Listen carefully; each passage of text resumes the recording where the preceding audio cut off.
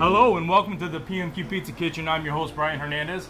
Today I'm joined by my good friend, Groupon US Pizza team member, co-owner of Panino's Pizza and Via Pizzeria 123 in Chicago, Illinois, Mr. Gino Rago. Thank you so much for being here today. My pleasure. Thanks for having me. All right, once again, I see a lot of stuff on the table. I'm, my mouth's watering. What do, what do you have on the menu for us today? I'm making a grandma pie, and it's a green pepper stuffed pizza pie with Italian sausage. And this sausage is a little different than the regular sausage. It's called Barese sausage. Okay. It's made with pork and Angus beef with Ooh. parsley, a little garlic in there, salt and pepper, you know. A little bit different. I won second place at the United States Pizza Team uh, trials. Didn't you? You also got Competitor's Choice on Yes, that. sir. too. I got the Competitor's Choice Award for this pie also. Well, that's a great honor. Thank you. Thank you And we're much. honored to have you come here and show us how to make this.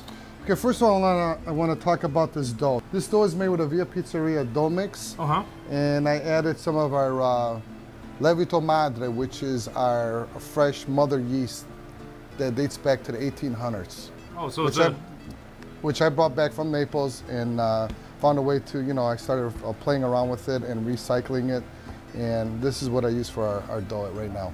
Can they find this online anywhere if they want to get the sauce or the or the dough mix? Yes, you can go online via pizzeria123.com. All right, perfect. Okay, so I'm just excited. Let's get into this. Uh, what's step number one? Okay, the first thing I'm gonna do is I'm gonna add some garlic to this, fresh garlic. Okay, just a little bit. How thick do you have those cut? I have them slivered, just a little sliver. Okay. Bring out a little flavor in the dough. Not too much, just a little bit. I'm gonna add some cheese. This is the Galbani Dragon Cut Shredded, two and three percent mozzarella. This is what I want to do. I want to get caramelize the edge a little bit, so I'm Ah. gonna pour the cheese right over to the edge. You'll see why later. I cannot wait. I'm going to assemble the green peppers. I'm going to evenly distribute them on the pizza four by four. Okay. So And how are these prepared? these are roasted in the oven for about 15 minutes. They look like just kind of thick, just kind of rings. Yeah, I cut them into like three quarter inch pieces. I'm going to add the sausage. That's kind of got a red tint to it. Is there any other preparation in that? I put a little bit of the Via Pizzeria tomato sauce in there when I cooked it Uh huh. with some green pepper and, and a little bit of onion in the sausage. So I'm going to add the, the tomato sauce, the chunky tomato sauce on there. Okay. Okay. Just a dab. Yeah. Just a little bit on each one. Okay, so it gets even better. A little bit of cheese. What kind of cheese? This is a blend of pecorino romano and parmigiano. And then I'm going to put a little bit. I'm to put a little bit of just a little bit on there. Oh, okay, just a. Yeah, just a little bit on there. You know. See? So we're gonna cook this now. Yes, sir. We're going to put it in the oven for about 20 minutes. Okay. How hot's our oven today? About 475, 500. All right, so 475, 500 degrees for 20 minutes, Yes, sir. and let's get to it. I can't wait anymore. Let's, Okay. Let's put it in there. Okay. Beautiful square pizza. Feel how heavy this sucker is. Fills the whole Feel how heavy pan. this. You get two of these, you can do some really good reps at your house. Yeah. Are you ready? I'm ready. We're going to take this out. There we go. Beautiful. We've got some caramelized cheese on the edges there.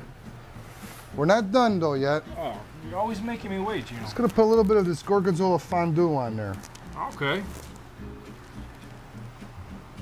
Last thing I'm gonna add is some fresh cut parsley. A little color. I don't want to use basil. I want to just use fresh parsley. You think basil gets overused? Uh, a little bit.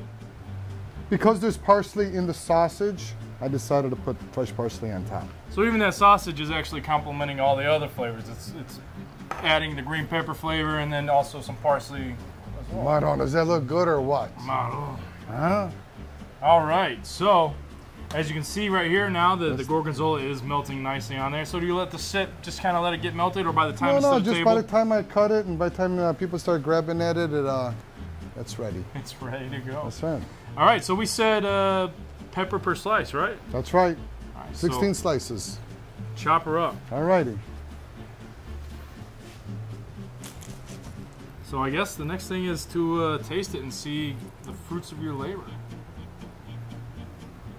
That is a beautiful slice right there. The crust, very airy, light. It's it's relatively thick, but it's not dense. Correct. It's very light. It's like a focaccia dough. Very Okay. light.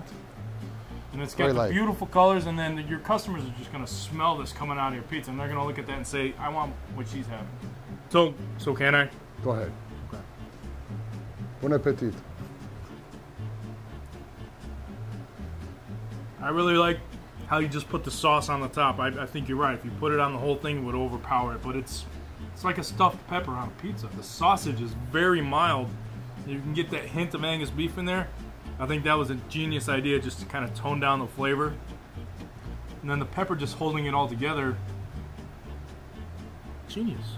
I, I said it before, but it's genius. Thank you very much. And the flavors, they all complement each other so well. They're being reinforced in, by several different ingredients. So, thank you guys so much for joining us here in the PMQ Pizza Kitchen. I'm your host, Brian Hernandez. I've been joined by my really good friend, Mr. Gino Rago, Groupon US Pizza team member, co-owner of Panino's Pizza and Via Pizzeria 123 in Chicago, Illinois.